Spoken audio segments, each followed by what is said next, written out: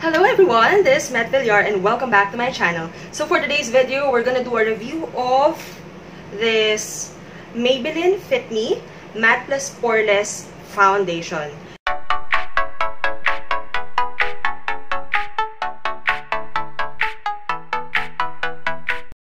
Uh, ang dami kong request to make a review on this video kasi this one is for oily skin. Dun sa mga katulad ko na problemado maghanap ng foundation kasi all throughout the day, ang dami foundation na nahukulas lang. Definitely, may makikita at makikita kayo nito sa drugstores near you. For its price, you can buy it for only 399 pesos. And for its packaging, the bottle is made of glass. It's 30 ml and madali siyang i-stack. Like, for example, if you have a lot of this foundation, pwede mo siyang ipagtabi-tabi kasi hindi siya bilugan. What I like about it is that nakalagay sa baba kung kailan siya minanufacture. So, manufacturing date is 01-2018. So, that's January 2018. It says here it's for normal to oily. So, no, no, no to those na meron dry skin. On top, ay kita niyo yung shade niya. It's 120 Classic Ivory.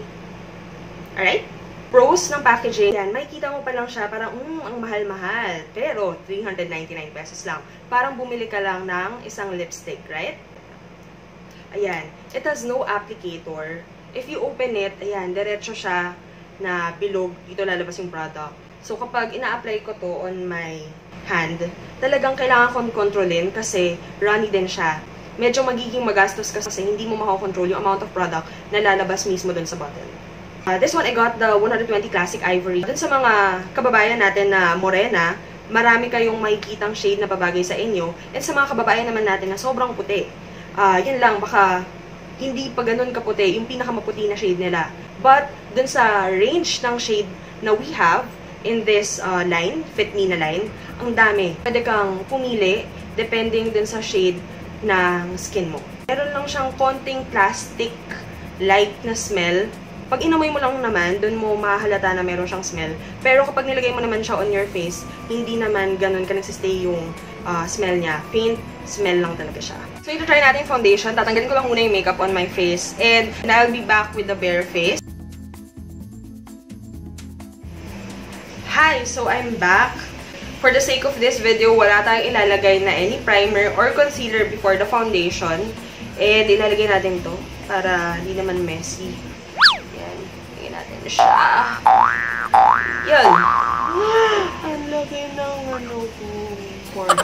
We'll be applying this foundation on this part of my face lang. Half lang muna para ma-compare natin later kung ano yung difference niya on the other side. As you can see, makikita niyo lahat ng imperfections ng aking skin.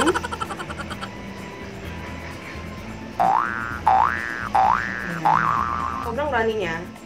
Yan, makikita niyo, bumababa siyang bumababa ako kailangan i-apply mo na siya agad dahil nagma-mattify din siya on the skin. Na-try ko na kasi before, nalilagay ko siya, and then pinaset ko muna siya ng 5 minutes before applying it on my skin. Iba na yung texture niya, matte na siya, kaya make sure na i-apply niyo na siya agad on your face. Sobrang dali lang i-apply. So, yung amount ng product na nilagay natin on my hand kanina, perfect siya for one half lang of my face. Kaya, medyo magastos tayo sa product kapag ito yung ginamit nating foundation. So, I'm done applying one layer of foundation on half of my face. And makikita nyo naman, kitang-kita naman dito yung difference niya on the other half na wala pang foundation. So, unang-una, I have to check na conceal ba niya yung eye bags ko. So, yan. Lalapit ako ng konti sa inyo. Yes, na-conceal niya in such a way na hindi mo na masyado makikita yung uh, discoloration under my eye and even on top of my eye. Na-cover naman niya yung pagiging yellowish ng skin ko on those areas. As for my blemishes, hindi niya masyado na-cover. Actually, almost close to none yung coverage niya dun sa blemishes. Kasi kung makikita nyo ngayon, uh, konti lang yung difference nung pimple marks on the left side of my face dito sa right side. Ang difference lang, pinalighten lang niya yung skin color ko. But then, makikita mo pa rin na meron pa rin mga dots, dots, dots, mga acne scars and acne marks. Next question, nag-even out ba yung skin tone? Yes, nag-even out po siya. Ayan, kitang-kita naman dito. Hindi mo mahahalata na wala akong concealer or walang primer underneath. At ito yung pinaka-madugong question, nabubura ba niya yung pores? And the answer is yes para kang nag-edit ng photo sa Photoshop na tinatanggal mo yung mga blemishes, yung mga pores. So now, let's continue applying it on the other side of my face. I suggest, dun sa mga kailangan ng full coverage on their skin, this is not the foundation for you. But if you're gonna use it for everyday use, like for example, you're gonna run errands, do groceries, go to school, or whatsoever, pwedeng-pwede siya. Hindi naman siya masyadong nabubura all throughout the day.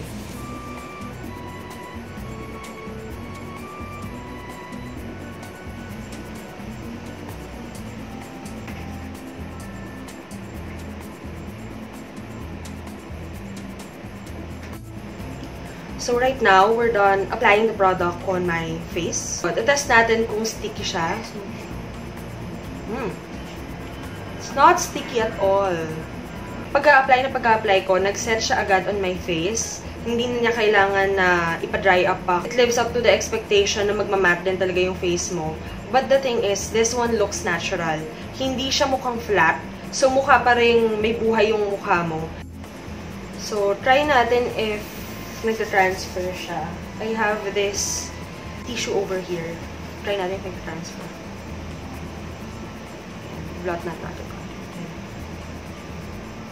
Ooh. Tissue. Hindi siya nagta-transfer. Check natin konti. Ayan. Kapag, kapag medyo hard yung pag-press mo on your face, magta-transfer siya. But, if yung pag press mo naman sa face mo, ganyan-ganyan lang, hindi po siya nagtra-transfer. I'm gonna finish my face with a finishing powder and magkikilay lang muna ako. I'll be back in a few.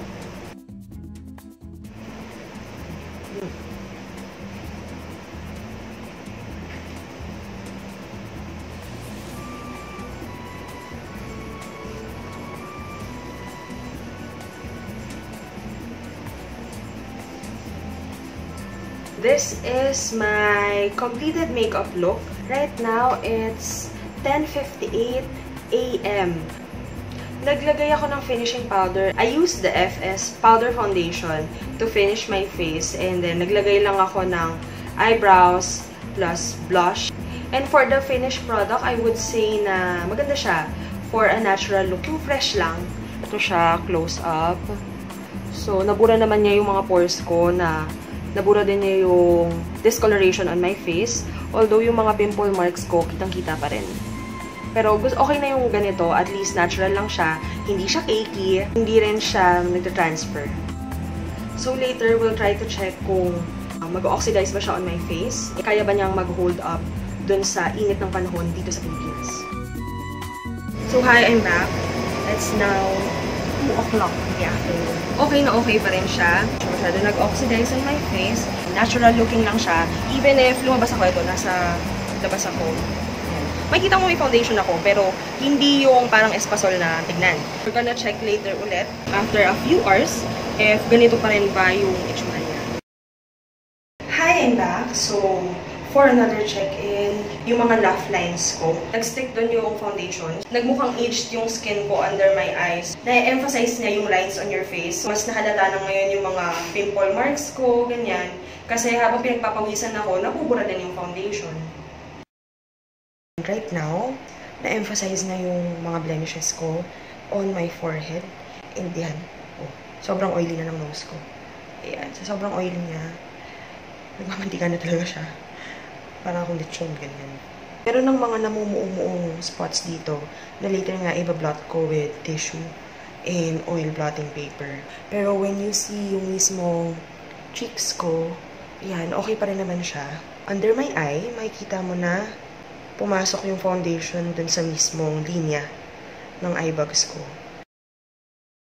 For my final verdict about the product, so first one, the price, I'll give it a 3 out of 5. It's only 399 pesos, pero the amount of product na ilalabas mo mula dun sa foundation, medyo maaksaya tayo sa product kasi maliit lang yung coverage niya on your skin. So, yung 399 pesos mo, oo, mura siya compared to the other foundations, but marami kang gagamitin. So, yung 399 na 30 ml, mabilis mo lang mauubos yung bottle na yun. So, next, for the packaging, uh, gusto ko siya kasi meron siyang feel of luxury. Siyempre, wala sa akin yung packaging. nandun sa bed. Anyway, Okay siya kasi glass yung bottle niya. So, kapag dinisplay mo siya on your vanity table, on your desk, mukha siyang mahal. Hindi siya mukhang 399 pesos. But, medyo delikado siya kapag nahulog mo. Kasi una nga, glass siya. Plus, wala siyang applicator.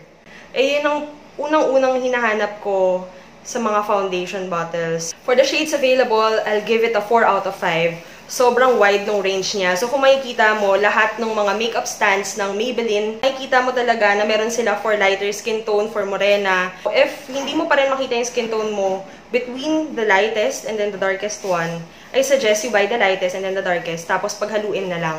So, ganun minsan yung ginagawa ko kapag hindi ko ma-achieve yung skin color. For longevity, I'll give it a 3 out of 5 lang. Yung skin ko kasi, pawisin, kaya hindi siya nagsistay all throughout the day.